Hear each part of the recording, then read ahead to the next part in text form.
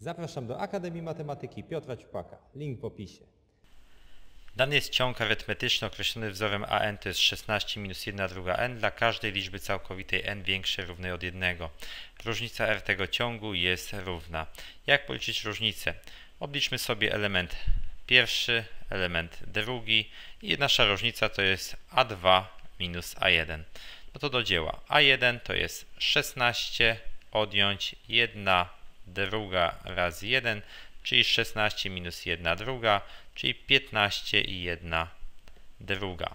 A 2, no to za n wstawiamy sobie 2, to jest 16 odjąć 1 drugą razy 2, czyli mamy 16 minus 1 druga razy 2, to jest po prostu minus 1, czyli wychodzi nam 15. Czyli mamy tak naprawdę 15 i 1 druga, czyli y, przepraszam, mamy A2, czyli 15, odjąć A1, czyli od tego odejmujemy to, czyli odjąć 15 i jedną drugą. 15 odjąć 15 i jedna druga to jest minus 1 druga, to jest odpowiedź B.